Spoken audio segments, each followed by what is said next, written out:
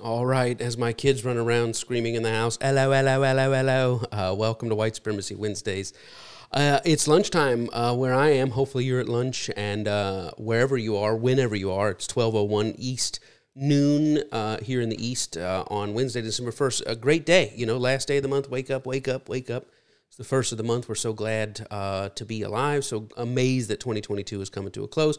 You might be watching this in 2025, wherever you are, whenever you are. Greetings and welcome. I'm very excited about what we're going to talk about today. I am, this is our uh, second White Supremacy Wednesdays, and I am your host, uh, your humble host here on uh, on White Supremacy Wednesdays, uh, and uh, glad to have you joining us here.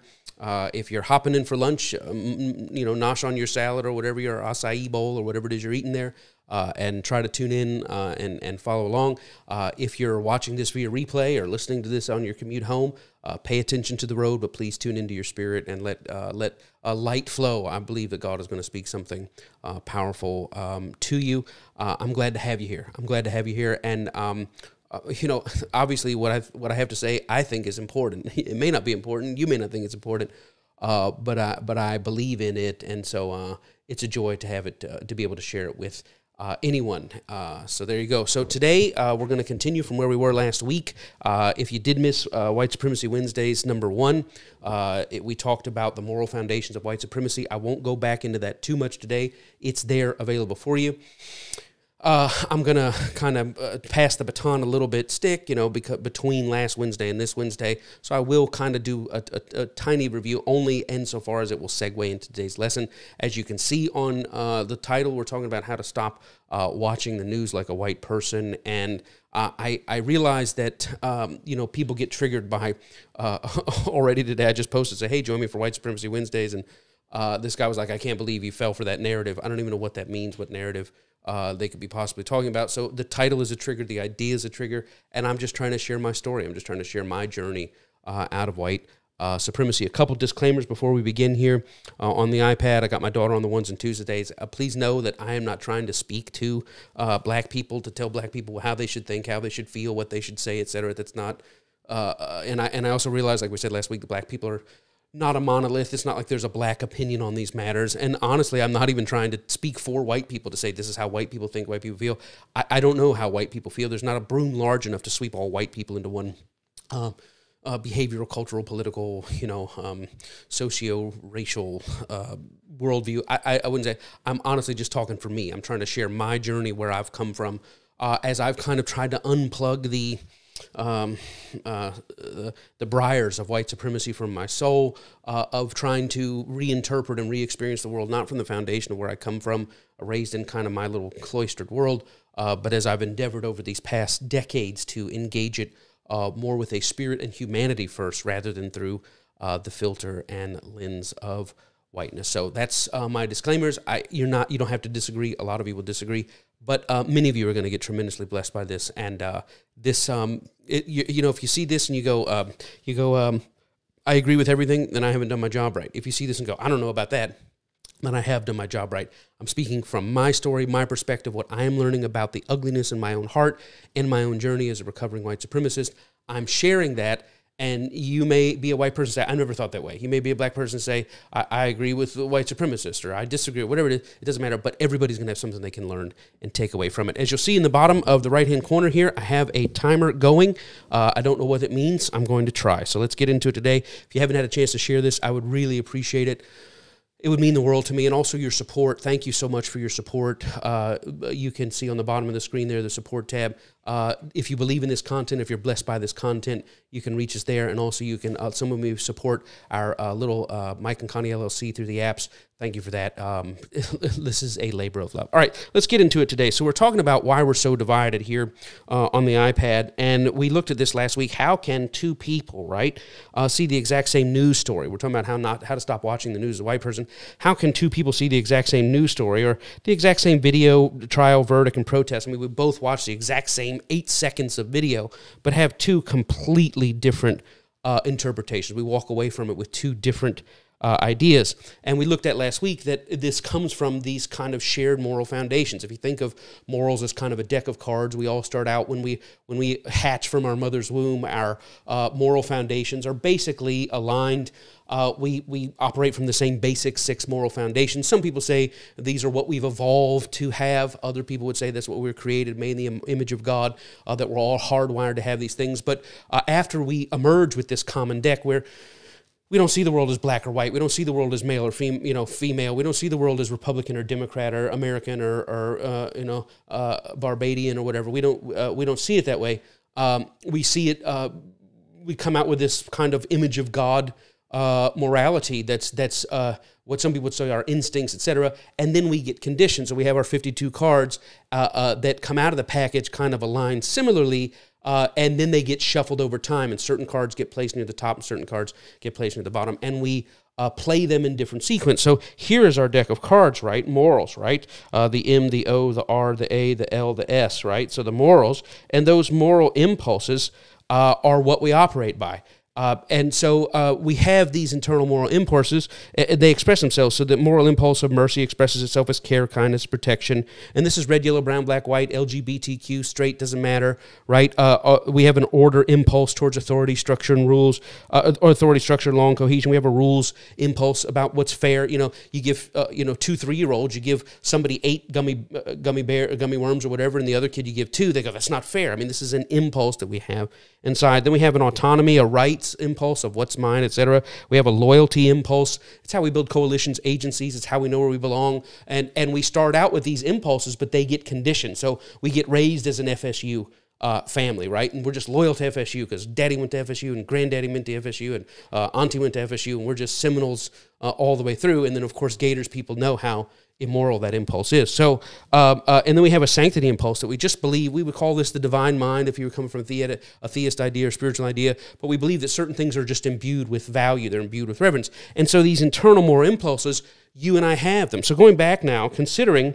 Um, how two people can see the same thing and react differently. Uh, we see the exact same video, but we react from uh, a, a, different lead moral impulse. And the way this happens is uh, it comes out of what we call external moral triggers. So, catch it here. We have the internal moral impulse. This is what we were made uh, with. And then out in the world, we have these external moral triggers. What are these external moral triggers? Well, we observe cruelty, right? Uh, and it agitates or activates our mercy impulse.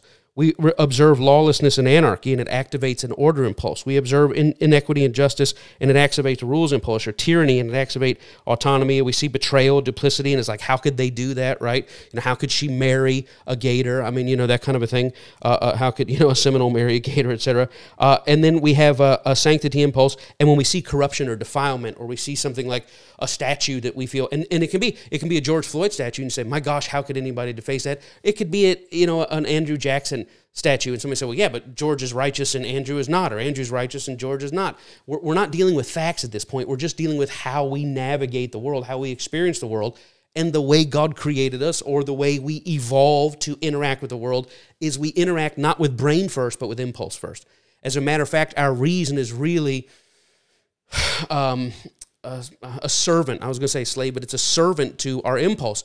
And we we kind of have an impulse, and then and then we don't ask reason how to think about it reasonably or, or rationally. We ask uh, reason and ration, rationality uh, what things will support my innate moral impulse. And so uh, a lot of times, what you'll see is you'll um, uh, see how these are opposite. So uh, uh, you know uh, somebody will see inequity and justice and it might trigger their uh, mercy impulse, right?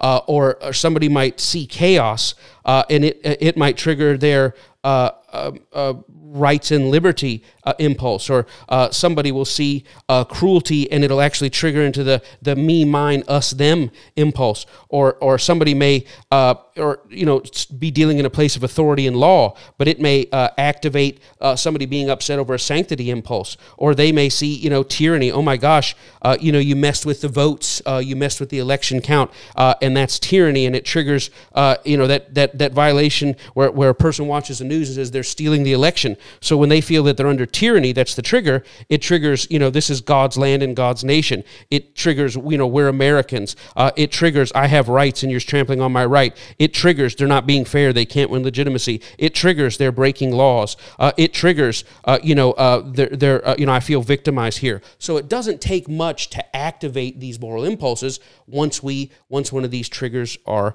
engaged. And again, I hope you're catching it, but let's go on a little bit further. So, um, and if you want to screen capture this, I can't write all this down. Well, it's right there for you. You can screen capture it. So, uh, I want you to consider the George Floyd summer. So, uh, what happened with all the BLM and all the things going on? And it seemed like uh, there was issue after issue as there was law enforcement issue, law enforcement issue, issue. So, I want you to think about it. If, if depending on what side you're on, if you're for the protest, right, uh, you interpret what's happening as tyranny, right?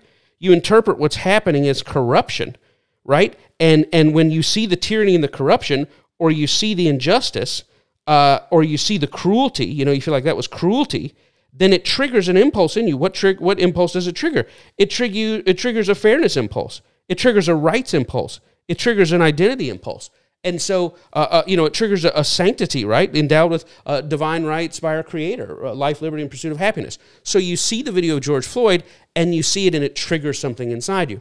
Um, and but now at the same time, so the George Floyd summer, as people start taking to the streets, it's not everybody is for the George Floyd summer. Why? Because some people see the George Floyd summer and they don't see it as uh, standing up to tyranny. They see it as, oh my gosh, look at this chaos and anarchy, right? Oh my gosh, look at how they're just destroying these shops and and and people are being trampled on. So a shop owner just got killed or oh my gosh, they're uh, betraying you know our national foundations, or uh, you know they're they're corrupting. Look at that, they're they're tearing down these statues that I hold dear. They're not focused on the inequity or the injustice. Other parts of their moral impulse are being triggered, and we all come it. You can't read this as, um, uh, you know, uh, oh, you know, so uh, my impulses are superior. It's not impulses are superior, nor can you or inferior. It's just the way we feel about a situation. And when we feel a certain way about a situation, we're drawn to news that supports how we feel. We're drawn to social media feeds that supports how we feel.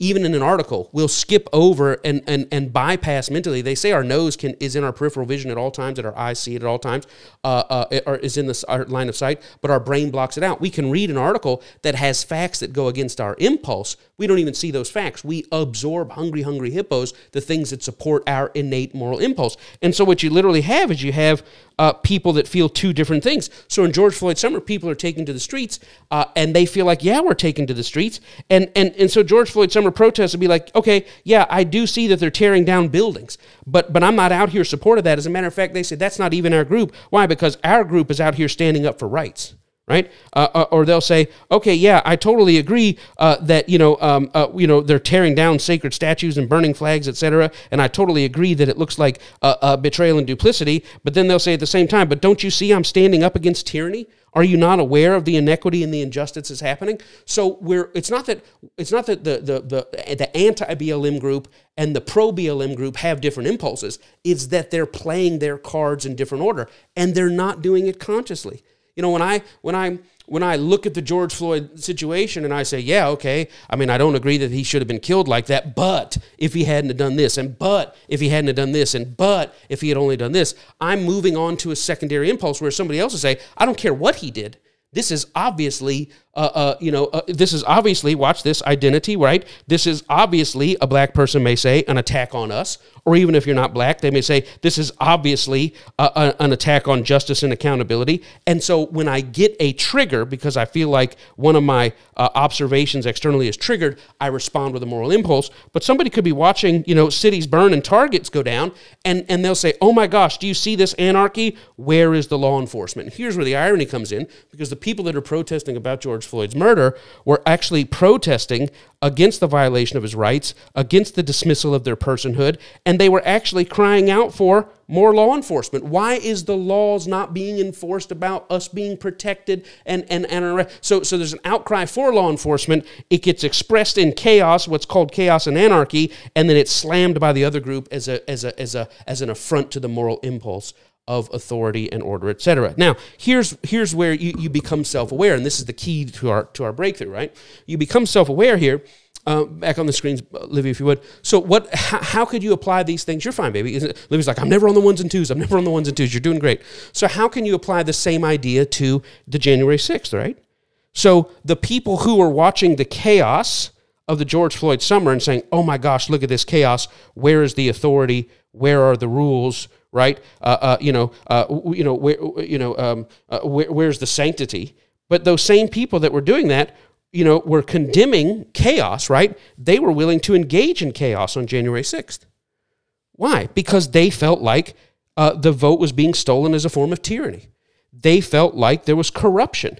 And when you have corruption, you can say, you know what? If there's corruption, if there's tyranny, and if there's uh, uh, if there's corruption, tyranny, and and uh, and uh, you know violation of authority, then I am justified in creating chaos. And again, keep in mind the George Floyd uh, BLM protesters are saying, okay, they're tearing up targets, but that's not us. Okay, they're out here blowing up, but that's people pretending to be on our side, and they're putting on that's that's Trump and MAGA people putting on BLM uh, gear and causing chaos to try to disrupt our cause. And is it an interesting that on January 6th, the exact same argument.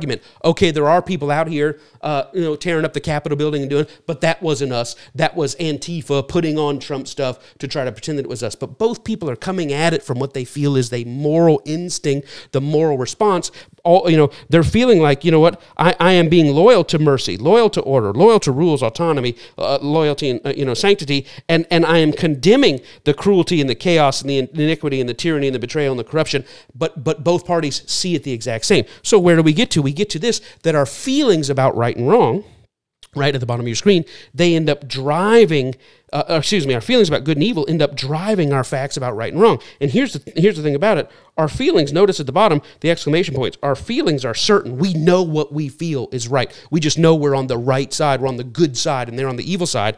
But our facts are question marks. Why? Are they really our facts? Can we even trust our facts? How do we trust our facts? And again, I'm not saying that there's alternate facts. I'm not saying that facts aren't facts. I'm just saying we don't first experience the facts. We carry our feelings and we mine and filter the facts according to our feelings. And if you want to function as a healthy human being, You've got to start with a healthy dose of self skepticism, right? And disrupt your echo chamber to make sure that you're just not responding uh, letting your impulses lead and making your logic serve it, but you have to learn to process these things apart from uh, uh, your initial impulse, etc. So where does all this tie in? Capture this on your screen if you want to. How does all this tie into white supremacy? Well, let's look at it.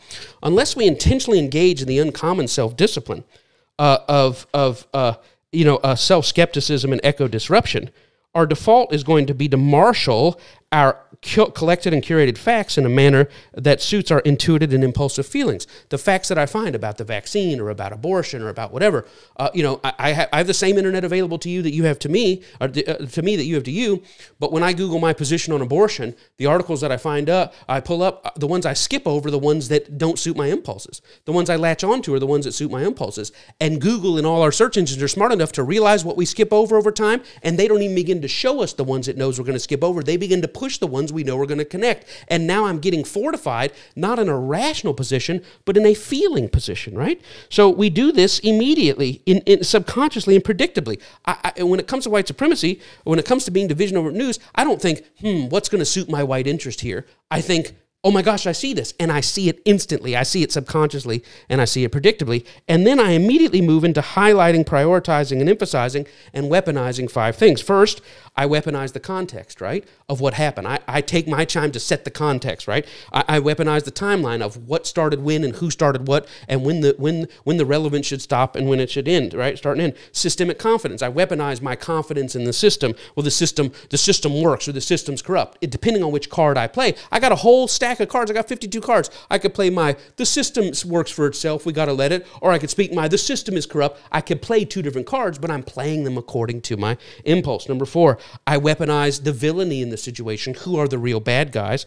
And then finally, I weaponize the outrage and indignation, what we should be upset about. And I say, well, you shouldn't be upset about this. You should be upset about that. Or they're upset about something stupid. And I see what they're saying, but the bigger point is, and so this is how we interact with the world. But we're not doing it based on facts. We're not even doing it consistently because depending on how the situation suits me and how it marshals my impulses, I may play an ace one time uh, uh as an opener, uh, you know, in spades. I may play, I don't even know, I, have only played spades twice. Uh, whatever I did, I must have played it right because we took him to Boston or whatever it is, and and then they told me to quit. I took him to Boston and walked out. So I guess that's a good thing. I guess we got all 13 books or whatever. Doesn't matter. I have no idea what I'm talking about. I only played once.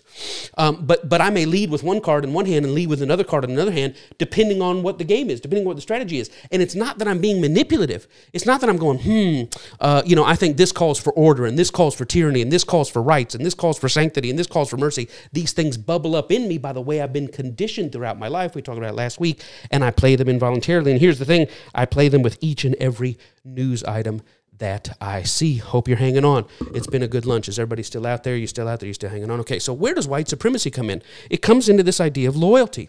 Bottom of your screen here. Loyalty is where I gain a sense of identity and a sense of self, right? Loyalty is how I define the words me, mine, us, and ours. It's how I define we and they. I gave you an example last week of a sports team, right? Was the guy's foot inbounds or was it out of bounds? Did he catch the ball or did he not? Was that a foul or a penalty? I can't believe, you know, I, I think everybody saw uh, when. Um, the um, Saints were playing the Rams uh, in the NFC title game before the Super Bowl. Everybody saw that pass interference. Everybody knows the refs turned their back. I mean, you had to be blind to do it. But I spoke as a Saints fan, right? If you're a Rams fan, they go, oh, come on. And here's how you weaponize the timeline. Okay, right there, maybe, but they didn't call the play two times earlier. You're not even experiencing the game through its factual existence. You're experiencing through the lens of your biases, uh, uh, through the mean, mine, us, and ours. Who dat, who dat, who dat, we dat, right? And we dat, we know we got robbed by the refs on that day. And people say, oh my gosh, you're still talking about that. What am I dealing? We're not dealing with the facts of the game. We're dealing with the impulses uh, and how we see it the rest. So in my saturation, somebody say you can't talk about this. I can't believe you fell for this white supremacy narrative. I'm not talking about a narrative. I'm talking about my life as a person. I'm sharing my story. My saturation in environments and experiences that subconsciously condition me towards whiteness as my primary self identity. They affected how I act with the world. Nobody, uh, well, I was going to say, nobody sat down and told me you're white. Actually, they did uh, a family member said, "Now you're white, right? And you need to remember that." And this person over here, no matter how rich they are, no matter how I just wrote this in my new book, no matter how rich they are, no matter where they come from, they'll always be an inward, and they'll never be as good as you because you're white. So that was the overt, but it didn't really take the overt. I, I absorbed that, right? In my teachers, in my principals, in my presidents, in my politicians, in my tele, I absorbed that whiteness is the default experience for life, and that that allowing the the the idea of the we and they, right, or the us and them, the usness, the we-ness and the theyness to be attached to not party first, not you know Christian or non-Christian first, or not uh, human or non-human. Uh, uh, I, I, don't have an, uh, my primary impulse was not always mercy, order, rules, autonomy, or sanctity. My primary impulse was conditioned to be seeing myself through the lens of whiteness captured on your screen and we'll move forward here okay so let's so let's see this is mike right mike mike looks at you know colin kaepernick or michael brown or or uh, jordan davis or breonna taylor or george floyd or uh, uh, Trayvon, Brother Trayvon, uh, uh, Philando Castile, right? He looks at it, and and what comes first? Does he approach it with mercy first, or does he approach it with order first, or does he approach it with autonomy, or does he approach it with rules? I never get to uh, these impulses to evaluate or consider it in that light. Why? Because the first thing that pops up in my brain as I interpret the news is the conditioned loyalty, identity, and whiteness that I have.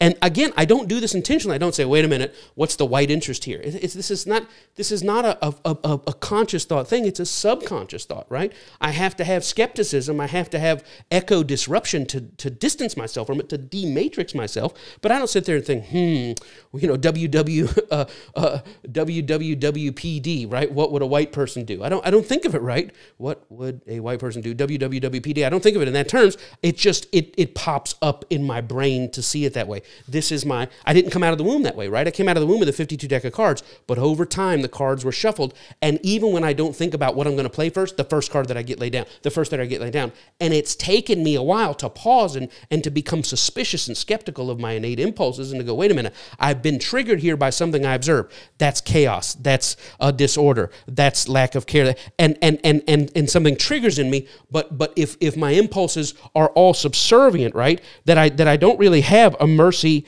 uh, order, rules, sanctity, uh, autonomy impulse, but all of those are repressed, and so that they all have to be filtered through the identity of whiteness. Now, all of a sudden, I end up watching all the news through a, a, white lens. And and somebody said, you know, and again, peace be unto this dear brother was like, I can't believe you fell for that narrative. This is not a narrative. This is my life. This is my life. It, it took me a while to realize that's what I do. It took me a while, and that's why I say uh, I'm a recovering white supremacist. What do you mean recovering white supremacist? Because this has been put in my Blut und Boden, right? From you know, to borrow from uh, Herr Hitler, right? Uh, uh, uh that that that my blood and soil has been conditioned to see the world through this. So I don't say, hmm, what is? I don't. I don't approach it from a, a sanctity situation with Colin Kaepernick. What is his rights as a human being, or what is his rights, uh, uh, you know, uh, to appeal to tyranny, or what is his right to call for uh, order? I approach it from a different thing. Now I may say, don't disrespect the flag. Why? Because the flag is sacred. I, I'm activating a sanctity idea, but why did I reach for that expression of sanctity rather than the sanctity of Black lives? Because that version of sanctity passes through my us them filter of my whiteness. Let me get my scribbles off so you can catch this if you want to. We're going to go forward in five, four, three, two, one. My God, don't disconnect yet. It's just getting good. Here we go. So, um, so we humans lead with our impulse and intuitions. We don't engage our reasoning until after the fact. We feel it, then we argue it, right? We or we rationalize it. Whenever I intuitively interpret the news through the uh, through my whiteness, I invariably and involuntarily find myself reasoning in ways that catch this, ways that downplay white responsibility and exaggerate black culpability. So, did I see the George Floyd video? Yes, I did. Did I do I do I see the uh, you know do I see the Trayvon Martin trial? Yes, I did. But I have learned, and this takes a conscious effort intention, intervention, interruption, uh, uh, uh, mindfulness, etc., to pause and go, you know what? I don't understand what they are so upset about. I don't understand why they can't see it clearly. My God. And I have to pause and go, wait a minute. Am I speaking through the filter of identity? Because that's my longest, most consistent self narrative. That comes out of my child. I was aware of the otherness of them uh, before I was even in school, and I don't know where that came from. Uh, I, I, it comes from a moral impulse to build bonds with allegiance, but every moral impulse can be co opted immorally. So when I see this idea and I go through the news and I go, wow, how come I constantly see the news in a way that downplays white accountability? I can't even find a color that you can see that downplays white account responsibility and exaggerates black culpability. Well, let's go on here a little bit further.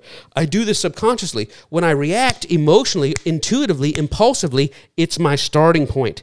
And from that starting point, I instinctively begin to formulate my factual conclusion. Well, they this and they came from there, and everybody knows, and you should see, and I bet if you find out, and that law says this, and you can, and, and I'm starting to summon facts in support of my position that are not really facts at all. They're just curated, uh, filtered versions to support my impulse. So we go on a little bit further here. This process is instant and immediate. Uh, I feel certain about it. That's what makes it so dangerous. I feel certain. I look at George Floyd Summer. I look at January 6th. I look at Rodney King. I look at O.J. Simpson. I look. I mean, just go over and over, and I feel certain. I feel certain. And in the certainty, the certainty should be triggering you. Wait a minute wait a minute. It's not that these are inferior human beings have an opposite reaction to me. It's not that they just don't know or they just blind or they're just taking the pills or drinking the Kool-Aid. I can't be so morally self-righteous, intellectually self self-righteous and self-superior that I go they just don't know. It can't just be that I'm that much better than people and when I realize that I'm not that much better than people and I pause to acknowledge my human frailty and I pause to acknowledge the possibility that I've been filtered,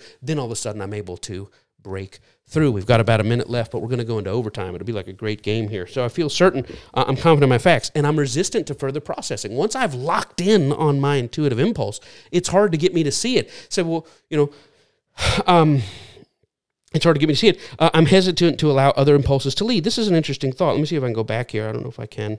Um, let me see if I can go back. So when I say hesitant to allow other impulses to lead, it'd be interesting if I reprocessed all of these impulses – uh, by saying, hmm, I wonder if I looked at these situations uh, with mercy first, or with order first, or with autonomy first. Would I see them a different way? But it's hard to get to any of those places when this is my dominant thought. So let's go on here a little bit further uh, to where we were. Um, so the only way out, right, as we said before, is to admit that my innate, my innate moral impulses, it's possible for those to be conditioned uh, and susceptible to conditioned uh, moral co-option um, that that the impulse of uh, of having a family of connecting to I have an impulse to like the Gators or an impulse to like the Seminoles or an impulse like this that that that can be co-opted in an immoral way so that my loyalty to the group that is a necessary moral, moral impulse for survival and cooperation that that can be corrupted in a way that it becomes immoral in its application. That's what white supremacy did to me. That's uh, that's the idea. Uh, would I have said I was a white supremacist? No, I don't think white supremacist like Sinbad about going said about going to Denny's. You don't set out to go to Denny's. You just wind up there. I didn't set out to be a white supremacist. I found as I went into my late twenties and thirties, man, that, that the idea of whiteness shapes a lot of the way that I see the world. Okay, let's go here a little bit further. Um, let's see how far we get. So, so how do I do this? I give you these five points, and then we'll close. Um, these five points. Are you still out there, Connie? Are people still on? Okay, good. That's fine. Um, I don't know. I'm assuming you're out there. If not, I'm just talking. Five different things. So how do I, how do I stop watching the news as a white person? What do I do? Well, I curtail uh, my compulsion to colonize the context of what happens. What do I mean by colonize? That I that I take my whiteness and enter into a place and say and say and dictate what the rules are. And I do this. I find I do this as I watch news stories. I watch the same news stories you do. I don't end up at this place. I start out at this place. I start out at like, oh well, obviously, and it's oh well, obviously is is something in me that's that's determining the context of what happened before I even know the facts about it, right? And it usually somebody said, well, how do you know it's white supremacy? Uh, uh, because it it usually supports the idea of white rightness in the situation. So I had to stop dictating when race or race isn't a factor. Race isn't a factor here. You're just making race a factor. Well, that's that. I, I, don't get to determine that context, right? I have to stop insisting that each incident be evaluated solely on its own factual merits. Why are y'all trying to inject race into it? Everybody, why everything has to have race into it now? Well, it's not that everything has to have race into it now. It's that we have a, a history where race was in everything. It's tyrannical of me, right, to retroactively strip race from the complex goings on uh, in America that I can say, oh my gosh, are we still there? Are you serious? Are we still there? Oh, I'm so tired of it. That's tyrannical, right? For me to say uh, uh, that race has is is not a factor here, and I'll tell you why. Because none of these issues occur inside a history-free vacuum. Right? There's nothing going on here that hasn't gone on before. It's like each thing is tied to another. I talk about this in relationships, uh, where we uh, one of the phrases we use is certain things in a relationship there should never be a third time. Right? Uh, there can be adultery. There may be adultery a second time. Not going to be adultery a third time. Why? Because on the second time, I'm out, right? Uh, domestic violence. Well, you know, uh, Tammy slapped Jimmy. Okay, you can't do that. If Tammy slaps Jimmy after counseling everything else, slaps Jimmy a second time, there's not going to be a third time. Why? Because I'm not going to stick around. There's certain uh, non negotiables, right? Uh, so it's like, oh my gosh, I, yes, I punched you in the face and knocked you out five years ago, and you're bringing that up now. You made it re-relevant when you reactivated it by punching me in the face last week. And so I realized that in my whiteness, I wanted to strip race from the conversation and say, look, let's just start the conversation with what happened in the eight-minute video with George Floyd. Let's just start the conversation with what happened uh, with with uh, uh Michael Floyd. Let's just start that Trayvon shouldn't. I, I want to start the conversation there, but you can't start these things in a non-racial conversation. Why? Because everything is slathered in the stench of this racial inequality, and you're not going to be able to just pick up where the zero is or where we're starting from, uh, and that's an expression of white supremacy. And uh, listen to this: my own heart darkness, right? My uh, what I know about the ugliness of my own hearts, it tells me it's dishonest to assert that the outcome would have been the same no matter. It would have been no different than it was black or white. I know enough about the ugliness of my own heart to know that's not true. I know enough of it could be true, but to assert, oh, you're trying to make it if the cop had been black, if the suspect had been white, it would have been the same thing. That's a form of tyranny where I colonize the context and I can't watch the news like that. Why? Because that's allowing my self identity and my whiteness to lead. I've got to pause that and go, hmm, let me look at the facts, but let me also look at the reality that as we go into situations, it's why comedians get away with saying stupid, asinine, dumb, satanic stuff like, uh, you know, white people tell their kids, uh, now, Johnny, don't do that that, I'll beat your time out, and black people will knock you out, and that's why black parents are so superior, and that's why white kids go and shoot up schools. That is a demonic talking point. We'll talk about that next week. That is a demonic talking point. That's a white supremacist talking point. That aggression somehow uh, and violence are necessary to subjection and everything else. And it, it's it's satanic and demonic. But we laugh, go, white parents, they're so nice to their kids, and they don't know that you should beat their kids. This is satanic, dis, you know, dark stuff. And and and I know my own heart darkness that I can't say, oh, there's no narrative about race. Of course there is. There's a narrative about black people, about black women. When you see an interracial couple, you see a white man with a black woman. We've been told who's the dominant personality in that relationship. You see a white woman. I mean, we've been told. We we are told these things. They exist in the air. And to say in this video of this interaction between a cop and a man, or a cop and a woman, or a citizen, that that none of those stories exist. Of course they exist. They're in our air. They're in our soil. They're in our DNA. And to go, no, I'm not going to let that be a factor here. As a jury, we're not supposed supposed to let that be a factor. But as human beings interacting with these things, you've got to look at it and go, all these dominoes have led to this point. Nothing occurs in a vacuum. Generations of dominoes have fallen, leading up to not only the event itself, where we can't push a button factor, not a factor, but how we interpret the event, certainly what we have absorbed over time is a factor. Oh, I'm preaching good. I'm preaching good. Number two, uh, if you want to capture that five, four, three, two, one, Connie tells me to let you count and capture. All right, there it is, captured. Uh, I must turn from the temptation to tinker with the timelines. This is something I know I did. I would always, not not intentionally, found myself tinkering with the timeline to a place uh, that minimized white culpability. I'll give you an example. So I see the George Floyd tape, right? The guy's kneeling down on his neck, and something my whiteness whispers to me, well, surely now there's more to it than this, right? I mean, obviously, the guy's just not doing this for no reason. What I want to do, I say, you're showing me a video. Let me see more. Because if you show me more, it'll show you that the white guy isn't as awful as he looks. See, I want to tinker with the timeline, right? But the other thing is this I see the Ahmaud Arbery uh, thing. Uh, I'm watching the video. Uh, Ahmaud Arbery runs around the truck, runs right at the guy. The, the black guy's running right at the guy, and he shoots him. And I go, what else is there to see? I mean, it's right there. He charged the guy and he shot him. I don't think this in my mind. Let me find a way to make the black person guilty.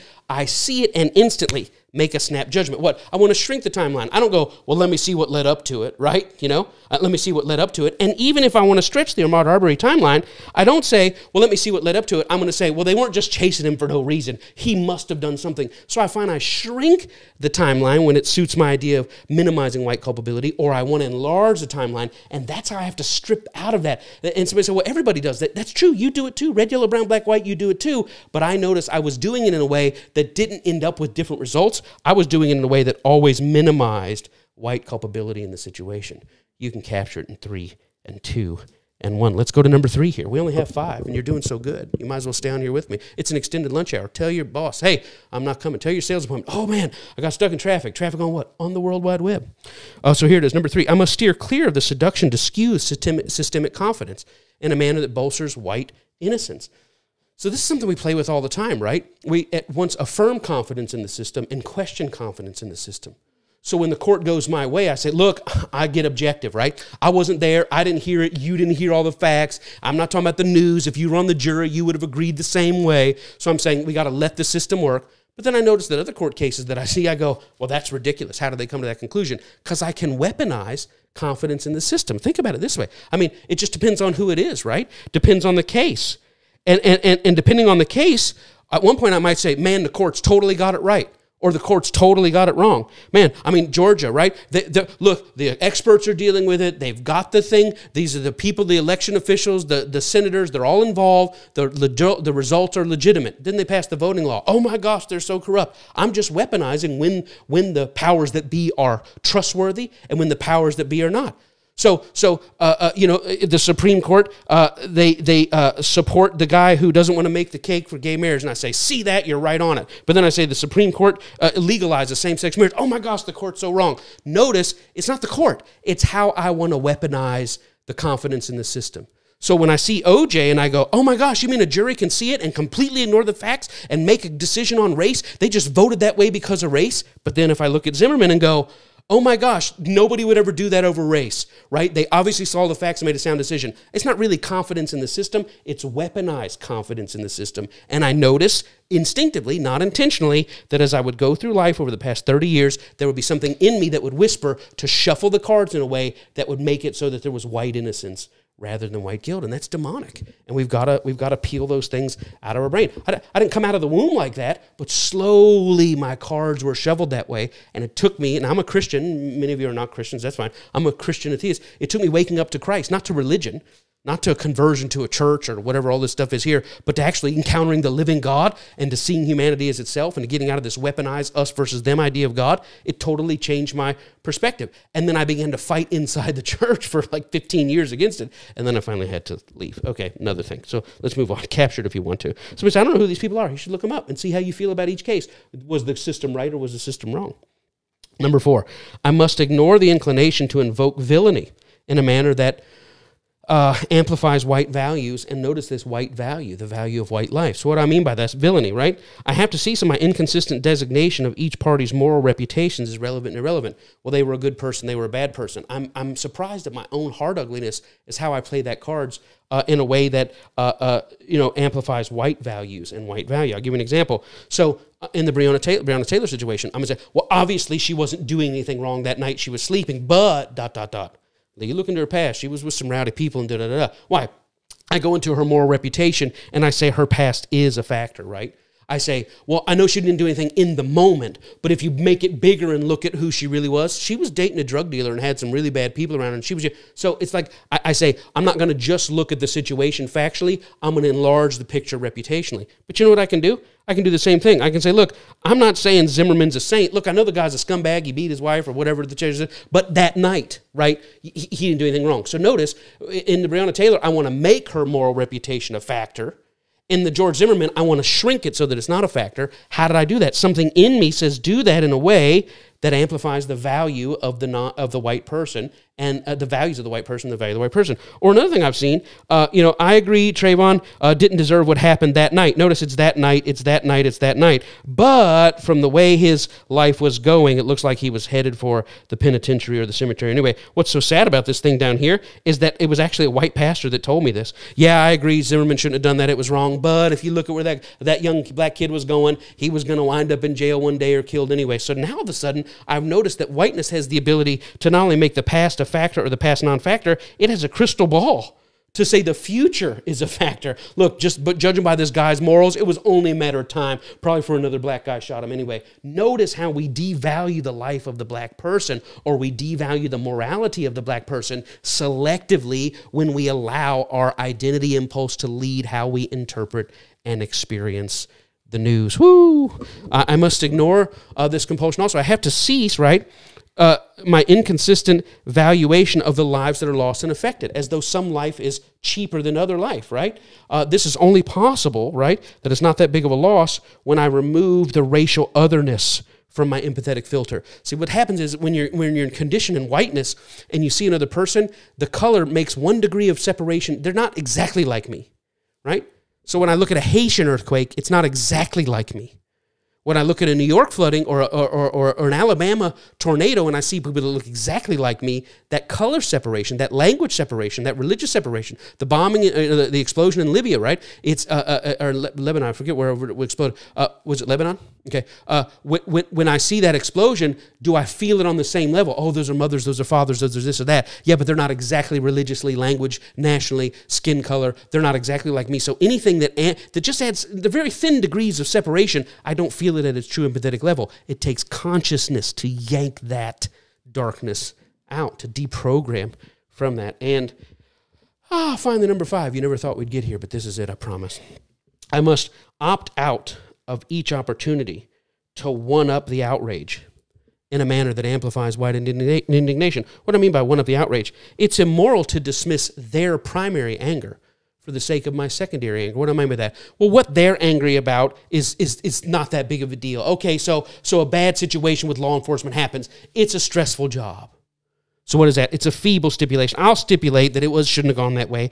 I'll patronize. Okay, yeah, I guess. But and now when I I'm saying what you're saying is true, but what I'm trying to get to my anger because my anger is nobler than yours that that when, when I deal with you, I'm patronizing with what's upsetting you, but I'm impassioned by what's upsetting me. What you're saying, look, there's a, there's ten thousand things a day, and and and most of the time it's the black guy that does all the stuff, and the and the white cop is just so. So I, I'm not saying that I'm not saying that officer so and so shouldn't have done that, but what am I doing? I'm I'm pushing what you're upset about down because you're leading with the care impulse right? You're leading with a mercy impulse. You're leading with a rights impulse. But I'm pushing that aside and leading with an order, law and order impulse. But we got to do something. But Chicago. But black on black crime, which is what? I'm taking yours and making it smaller, and I'm taking mine and making it larger. And that's that's one upping the anger. Or I'll say, yeah, yeah, yeah, what you're talking about is but I'll move to the secondary thing. So I am completely silent on social media watching an eight minute video of somebody be killed. But when I see Target on fire, look, look, look, what? Here's a, I'm not saying what happened to George Floyd was right, but we can't be. So it's the secondary but that I want to amplify that my anger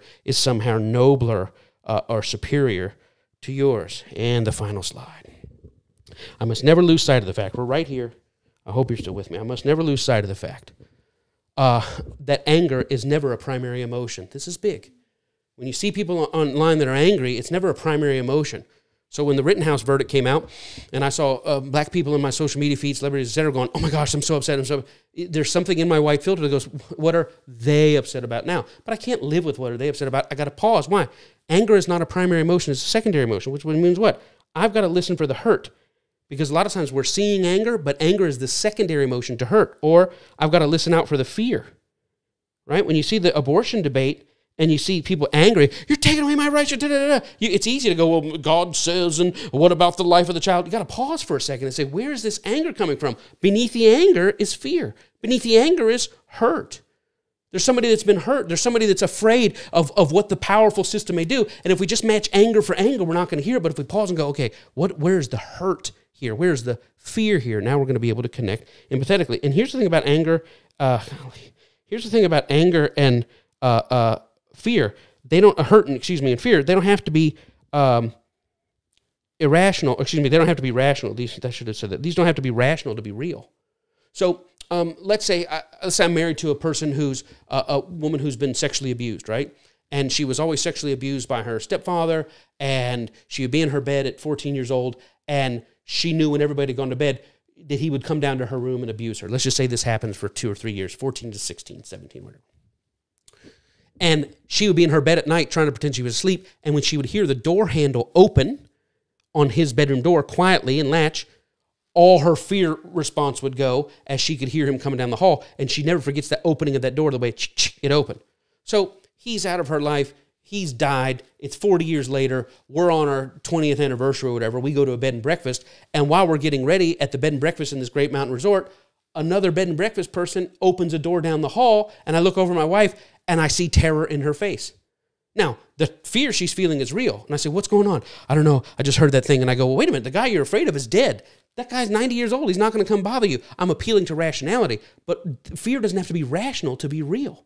And so sometimes when you see somebody reacting to something online and you say, This is so stupid, you're trying to make it about black, white, and it's not even there, pause before you one up the outrage and listen what is the fear beneath what you're hearing? Because even though it may not be rationally you know you say well that's irrational to feel that way but fear is never rational. But the anger and the terror and what comes over us it doesn't self-originate it comes from somewhere. And in this country what you would call as a white person what i would call as a white person this is just so irrational that you would be that upset. I mean the guy clearly charged the police officer what's the problem? We try to reduce it down to itself. Well the upsetness comes at it's not just that four minute video it's hundreds of years individual experiences things they've lived through a thousand such images that they've seen like that. These things compile, and you want to, you and I want to jump to the rationality side without pausing to say, before I say you shouldn't be upset about this, now I'm upset about you're upset and the way you're acting out on your upset, and now your second wrong doesn't make, and that's just all self-righteous bullcrap. And the truth of the matter is, as human beings, we got to pause and say, why am I not feeling this like they feel it?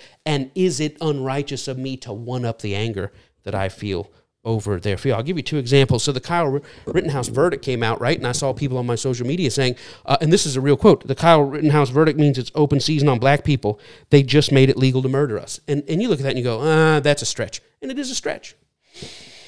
It's hard to draw a rational, logical line to that because Kyle Rittenhouse and all the pooch screw things that went wrong there, major things that went wrong. I'm talking about, I don't care how narrow or how far out you want to make the timeline, it, it, it screwed up but or a black person go, okay, I guess they're just going to kill my son now. That's that's a that's a rational leap, but it's an emotional reality, right? The, ira- the irrational leap says so. Kyle Rittenhouse getting offered his crimes uh, somehow means my son is going to be killed. Well, really, what's happening is there was already a subconscious fear based on the place that we live about the death of these young black men. That's already there. And this comes across not with an ira- oh, not with a rational line of logic, but with an agitation of picking the scab on fear and hurt and devaluing that's already there. I'll give you an example that white people can understand. Colin Kaepernick kneeling on the flag, people are white people are, oh my gosh, you just spit on my grandfather's grave. This blankety blank spit on my grandfather's grave. I can't believe my granddad was a World War II veteran, gave his life at Normandy, and this guy just came over and pulled his pants down and took a big dump on my and I mean rage. And you say, wait a minute, that's that's not rational.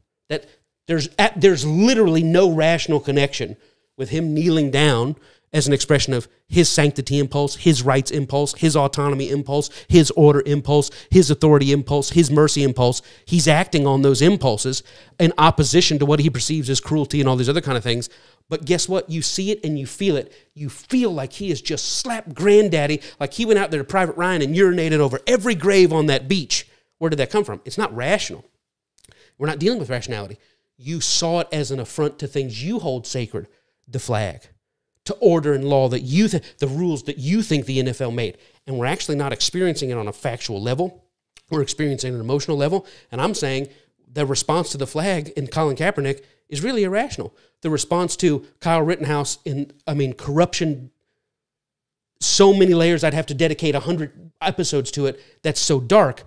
But we're not really dealing with that, are we? We're dealing with human beings who are feeling things that have to figure out why they're feeling those things. And if you're feeling it through your whiteness, I encourage you, you're going to have to pause that and slow that down and go, okay, what if another impulse, what if I could pause my whiteness long enough to say, these are black people that I know, that I fellowship with, that are online raging over the Kyle Rittenhouse verdict. And instead of great, great, great, great granddaddy and all the things that are in me that say, well, there they go again, that's my impulse. How do I become skeptical of that? How do I pause that to say, what are you feeling? What moral impulse is being triggered in you by the external immoral triggers that are existing in the world? And now I'm able to see not the news as a white person sees it, I'm able to see the news as a human being sees it, or as I would argue, as Christ would see it because Christ would be able to acknowledge the humanity and the fear and the hurt at the root of the outrage. But I came, became suspicious as why does my outrage over things always done in a manner that supports white indignation and minimizes black indignation? And that's all the time we have for today. I hope you got something. White Supremacy Wednesdays, it's how we spend our lunchtime. So I can't eat this every day with you for an hour. I try to do 28 minutes. Next week, I'm going to be talking about Malcolm X and the House Negro and the Field Negro. Maybe we'll get through that in 28 minutes.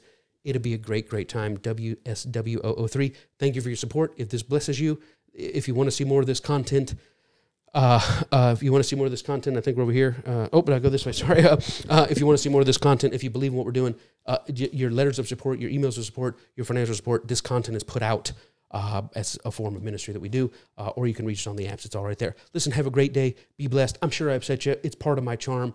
Uh, but somewhere in here, even in my clumsy way of saying it, I know I wasn't 100% right in this, but somewhere beneath there, you heard something that will grow you empathetically and make you see the world larger. I'm trying to see the world larger than my whiteness. And hopefully, not for every white person doesn't feel this way. Not every black person is going to be informed. They all know that. I understand white supremacy better than you do. I doubt that. uh, you may understand what it's like to be victimized, but you don't understand what it's like to orchestrate it and to live as a beneficiary and being born and bred and benefacted by it. And I'm really betraying state secrets here to put this stuff out. But forget what white people are like or what black people are like. I'm telling you my story. And maybe in my clumsy, screwed up story of where I come from, some truth will come forth that'll advance the cause of justice in the world. God bless you.